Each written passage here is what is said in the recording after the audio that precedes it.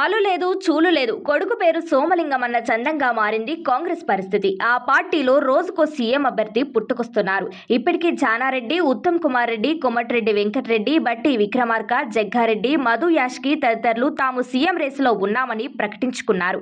అదే జాబితాలో తాజాగా మరొకరు చేరిపోయారు. సీఎం పదవిపై ములుగు ఎమ్మెల్యే సీతక్క ఆసక్తికర వ్యాఖ్యలు చేశారు.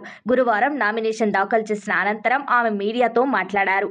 కాంగ్రెస్ పార్టీకి మెజారిటీ వచ్చి హైకమాండ్ ఆదేశిస్తే సీఎం పదవిని చేపడతానని ఆమె తన మనసులోని మాట బయటపెట్టారు. దీంతో కార్యకర్తల్లో అయోమయం నెలకొన్నది. గెలవక ముందే మేమంటే మేము సీఎంలమంటూ డాంబికాలకు పోయి అసలు ప్రచారాన్ని వదిలేస్తున్నారని వాపోతున్నారు.